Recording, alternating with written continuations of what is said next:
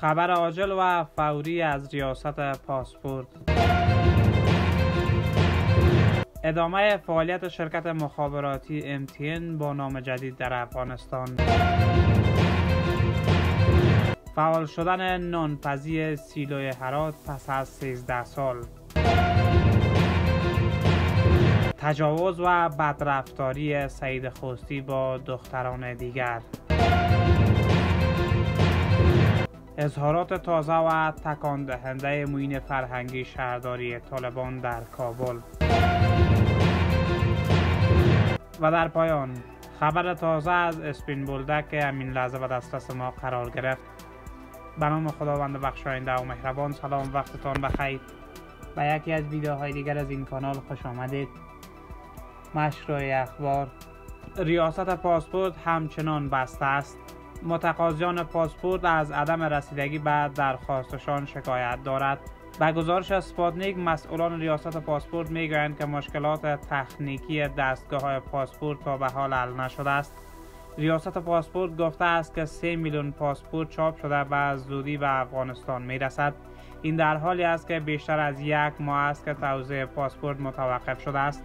ریاست پاسپورت می‌گوید که دلیل این وقفه نوسازی دستگاه های بایومتریک است. این در حالی است که مردم متقاضی پاسپورت مشکلات گوناگونی دارد که از جمله مریضان هم هستند و برای تداوی باید به کشورهای خارج بروند.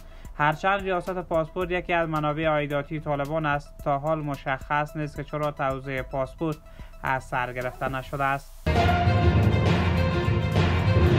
شرکت مخابراتی MTN در افغانستان می‌گوید که با مالکیت مالکان جدیدش با تغییر نام به فعالیت خود ادامه می‌دهد. MTN شرکت مستقر در آفریقای جنوبی است که در افغانستان و شماری از کشورهای جهان فعالیت دارد. اما رضا عباد رئیس شرکت MTN افغانستان گفته است که مالکیت این شرکت به یک شرکت به نام امای نیو ونچرز لیمیتد که در خاورمیانه است واگذار شده است. او و مشتریان این شرکت اطمینان داده است که تغییر مالکیت آن بر خدماتش تاثیر نخواهد گذاشت به گفته او با گذشت زمان تنها تغییری که ایجاد خواهد شد انتخاب نام جدید برای این شرکت مخابراتی است. به گفته عباد تغییر مالکیت بخشی از پلانی است که MTN دو سال قبل اعلام کرد که به فعالیت خود در خاورمیانه پایان می‌دهد تا روی استراتژی پان آفریقای خود تمرکز کند. نانپزی سیلای هرات پس از 13 سال دوباره توسط طالبان گشایش یافته و به فعالیت آغاز کرد. در این نانپزی قرار است که برای ادارات نظامی و ملکی طالبان نان پخته شود. عبداللطیف منصور رئیس گماشته شده طالبان برای سیلای هرات می‌گوید که این نانپزی ظرفیت پختن دو تن آرد در روز را دارد و در آن نان ساده ساندویچی فانتزی و همچنین کیک و کلچه پخته می شود و گفته او با آغاز و فعالیت دوباره بخش نانپزی سیلوی هرات برای شماری از افراد زمینه کار هم فراهم شده است. نصرالله منصور رئیس عمومی طالبان برای سیلوهای کشور که به هرات سفر کرده می‌گوید تلاش دارد تا هر پنج سیلوی کشور فعال شوند.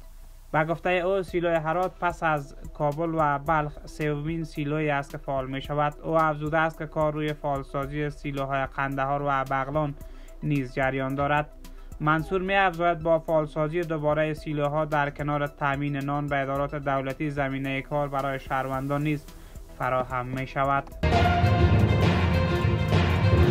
مولوی عبیب الرحمن منصوری موین امور اجتماعی و فرهنگی طالبان برای شهرداری کابل می‌گوید که مسلک او در سالهای گذشته ماینگذاری و کمین کردن بوده است.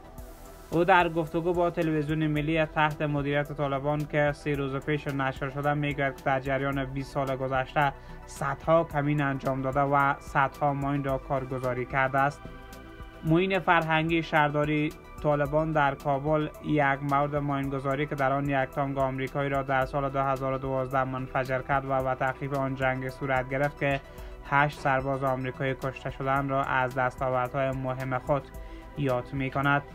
می افزاید که در این رویداد یک سلاح پیشرفته آمریکایی انفور نیز به دست طالبان افتاد که تا آن زمان طالبان از این نوسلا نداشتند. منصوری گفته از در بخش نظامی در تشخیص مکان کمین و ماینگذاری که ماین در کجا باید پنهان شود تا دشمن را نابود کند تخصص و مهارت دارد. او در ادامه می‌گوید در اسلحه مسلک من راکت و پیکا است. از آنها کار می‌گرفتم و در جنگ چیز دیگر با من نبود. و گفته منصور در سالهای گذشته و در کنار این که به عنوان دلگای مشر و همچنان مسئول جلب و جذب طالبان کار کرده تجارت اصل را که آید خوبی نیز داشته انجام داده است. این مقام طالبان می‌گوید که بر اساس فرمان خاص ملا حیبت الله آخوندزاده رهبر این گروه در این موقف تعیین شده و هیچ انتظار هم نداشته است. معین امور اجتماعی و فرهنگی شهرداری طالبان در کابل همچنان می‌گوید که از شش ماه و این سوروی کتاب نیز کار کرده است که به زودی منتشر خواهد شد. به گفته او این کتاب در مورد وظایف و مسئولیت های وکیل ها و ملک ها نوشته و در آن راجع به چگونگی انجام وظایف وکیل و ملک توضیح داده شده است. این عضو طالبان می‌گوید که تحصیلات دینی دارد و بیشتر عمرش را در صوبه سرحد پاکستان در دارالعلوم سراج السلام سپری کرده است. الهه دلاورزه سعید خوستی را به بدرفتاری جنسی با دختران دیگر نیز متهم کرد. الهه دلاورزه گفته است که سعید خوستی سخنگوی پیشین وزارت داخله طالبان جنایاتی را که در برابر وی مرتکب شده علیه دختران دیگر نیز مرتکب شده است اما آنها از ترس نتوانستند صدایشان را بلند کنند.